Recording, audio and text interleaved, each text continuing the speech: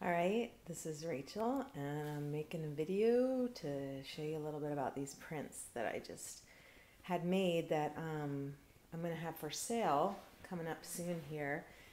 So here's some of the small ones, and these are the ones that I have already packaged, and they're signed. There's probably a bit of a glare on it right now, but they're really, really great, and they're prints from my paintings, and they're high quality digital fine art prints on this really, really excellent, excellent watercolor paper, as you can see.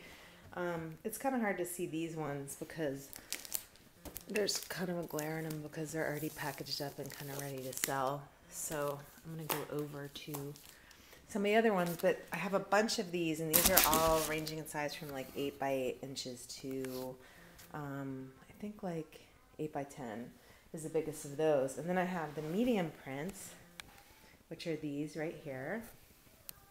And these are really, really awesome. And these range in size, um, actually, what's the biggest one on these? I'm not even sure. I'm not even sure. It doesn't matter. Um, but they're kind of like, yeah, medium sized prints. Also really great. And then my favorites are these large scale ones uh, 16 by 20s. They're huge. Just, ah, uh, it came out so, so, so well.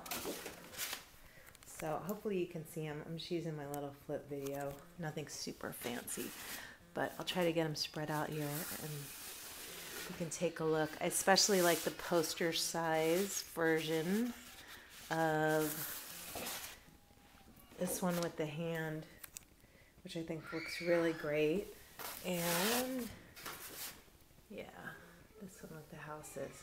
So, yeah, they came out really, really, really well. And so they're all going to be for sale at my show March 2nd, which um, is the Arts Crawl night at Bright Rain Gallery. And then sometime probably within the next month, I'll have all this stuff for sale. And everything's going to range probably from under $100 uh, to not more than $200 for the really big ones. So, it's a really good price and you can take them and frame them or mat them or mount them or you know do whatever you want but um, they're just really really nice quality.